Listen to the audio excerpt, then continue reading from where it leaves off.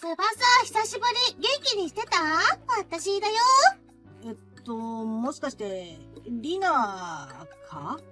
もしかしなくてもニナだよ。あなたの愛する妻、ニナちゃんです。元妻な？半年前に離婚しただろうが。まあ、そんな冷たいこと言わないでよ。離婚なんて、どこ紙切れ一枚じゃん。紙切れ一枚でももう戸籍は別々で他人なんだよ。だからそんな冷たいこと言わないでよ。せっかく元妻が連絡してきたんだよ。懐かしいなとか、やっぱりリナのこと好きだなあそういうのはないわけ？一切ない。え？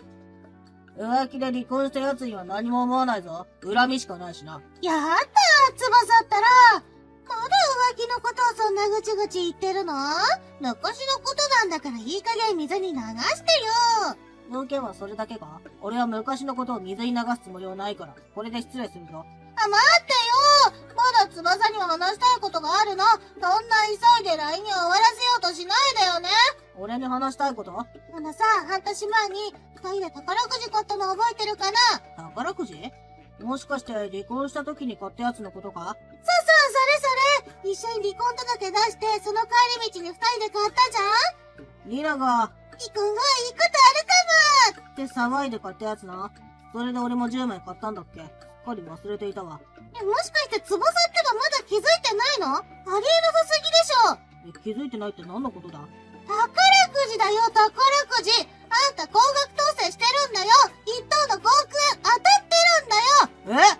お、俺が高額当選？しかも5億あの時連番で買ったじゃない !20 枚も円俺10枚、リナ10枚買ったんだよな。そうだよ。私が買ってから、翼も結局買ったじゃん。私は外れてたんだけど、一等の当選番号が私の2個次の番号だったの。それってつまり、翼の持ってるくじの中に高額当選があるんだよ。一等5億ゲットだよ。ま、マジかよ。今すぐ宝くじ確認してよ。当選番号はネットに載ってるからちょ、っと待てよ。そんなに焦らせるな。えっと、どこにしまったんだっけな。確か机の中のファイルに。うわあ本当だ！本当に当たってる！やったー！これで私たち億万長者だね！5億は綺麗に半分としようね！え？え？この糸は俺のだからな？リナにあげるわけないだろ？え、私と一緒に買ったじゃん。宝くじも夫婦の共有財産だよ。でも離婚成立してから買った宝くじじゃん？離婚届を出して他人になって、その時にそれぞれ買った宝くじだぞ？でも離婚なんて数分前のことだし、私が宝くじ買おうって言ってから翼を当てられたんだよ。これって実質私のおかげじゃん。は？私が先に連番10枚買ったから、あんたが当たったんじゃん。つまり私のおかげだから半分くらい渡してよ。早く私5億の半分ちょうだいよ。絶対に渡さぬ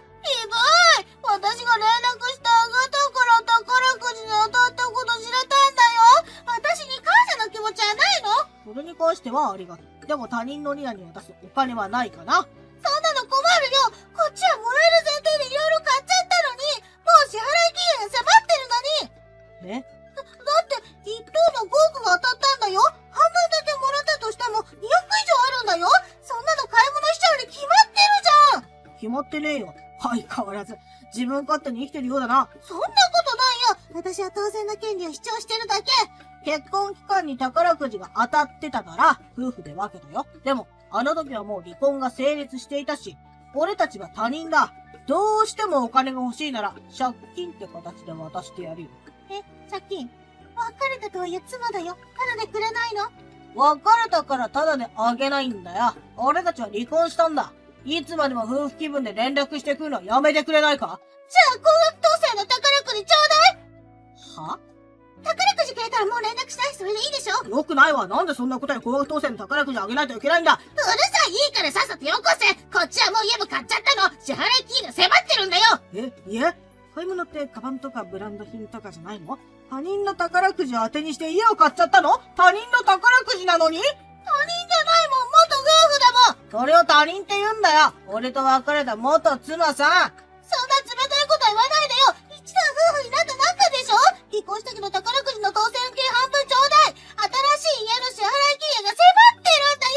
慰謝料の期限は昨日だがな。え？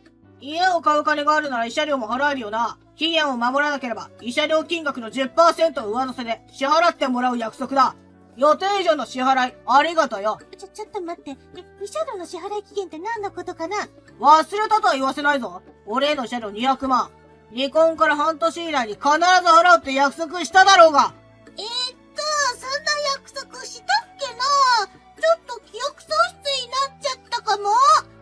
書面にまとめて、リナのサインもあるからな。書類をどこにしまったか忘れてたけど、宝くじと一緒にあったよ。リナの連絡のおかげで見つけられたぜ。うけ。離婚後連絡はつかないし、払わずに逃げ切る気満々だったようだな。俺も慰謝料については諦めるしかないと思ってたよ。でもまさか、リナの方から連絡してきてくれるなんてな。高額当選に興奮して慰謝料のこと忘れてた。宝くじに感謝だぜ。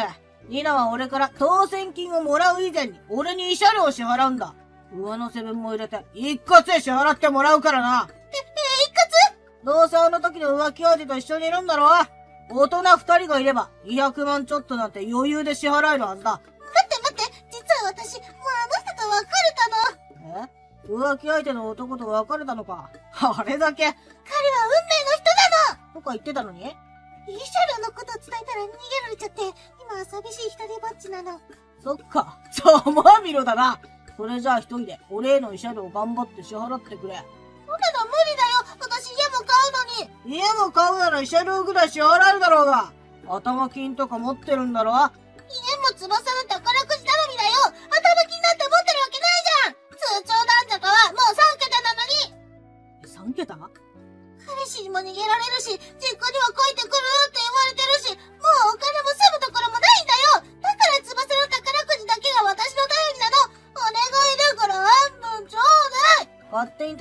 ても困るよ。何度も言うが、俺たちはもう離婚したんだ。他人なんだよ。助ける気でもないぜ。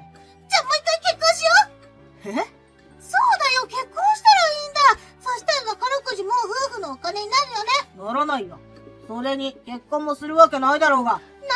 私が翼の元に帰ってくるんだよ嬉しくないの？バカな元妻が戻ってきて嬉しい人なんているわけないだろうが。もし戻ってきたら、すぐに警察呼ぶからな。そんなことしたら付きまわよそれが嫌なら私と結婚よ今すぐ私と再婚して宝くじの当選金を半分よこせ早くしないと支払い期限が迫ってくる俺もう結婚したんだよね。のよえ？だから、再婚は物理的に無理。宝くじの当選金額は新しい妻と仲良く分けるよ。本当に当選のことを教えてくれてありがとう。それじゃあ、え、え、ちょっと待ってよ。それじゃあじゃないよ。結婚したって何？新しい妻ってそのままの意味だよ。俺、別の女性と結婚したんだ。何いつそれはいつのことなの？どこぞの女といつ結婚したのよ？先月結婚したんだ。友達の紹介で同じく離婚経験のある女性と知り合ったんだ。これがものすごく素敵な人でさ、あっという間に入籍だよね。信じられない。私と離婚して半年しか経ってないのに、もう別の女と結婚してるなんて彼女、10年も付き合って、ようやく結婚した人と別れたんだってさ。だから、交際期間は関係ない。とりあえず、入籍した方がいい。って、俺もその考えに賛同して、スピード入籍しちゃったんだよね。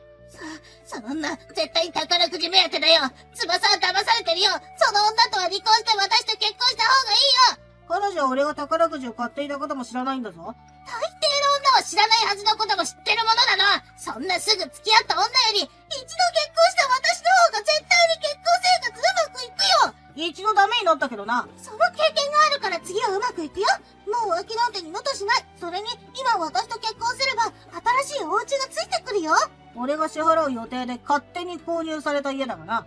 きっと翼も気に入ると思うな。駅近で庭付きでリビングが気持ちのいい吹き抜けなの。翼そんな家が欲しいって言ってたじゃない。え、その家めっちゃいいじゃん。でしょでしょやっぱり翼の好みを知ってるあその家は俺と彼女の新居用に購入しようかな。どこの不動産屋とお話ししてるか教えてよ。私と翼の新居じゃないの？他人と暮らすわけないだろ新しい妻と一緒に暮らすんだよ。で、でもこの家は私が最初に見つけたんだよ。でもリナはお金がないから買えないじゃん翼の宝くじがあれば買えるもん。俺の宝くじは俺のもの。